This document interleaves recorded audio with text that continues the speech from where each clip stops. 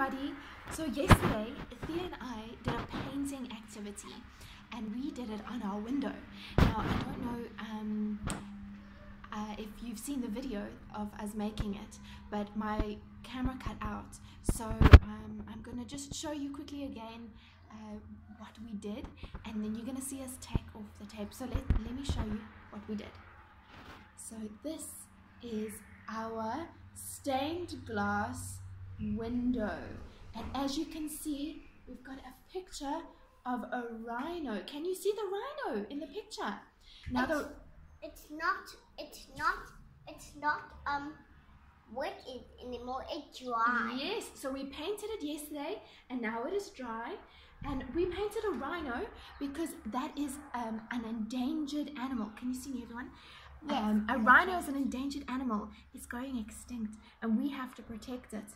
Um, so there's lots of ways that we can um, do that by protecting our animals.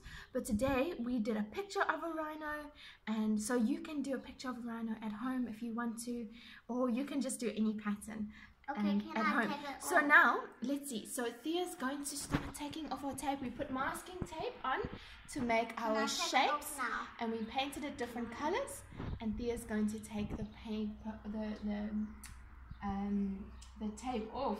Can I help you there, Thea? No, no, same. Oh, okay, you're gonna give the you tape can, to me. You can help me to take. You can. I'll no. You. You. I'll help you. No, I'll. You can yeah, help me to give the tape to that. All right. So as you can see, look, he's taking off the tape. Oh wow! And we're gonna see what it looks like when it's done. So I'm going to um, pause the video and then I'll show you what it's like when it's finished. Okay everybody, and here it is. Here is our finished Rhino stained glass project. Wow, look how good he looks, eh? So you can try this at home.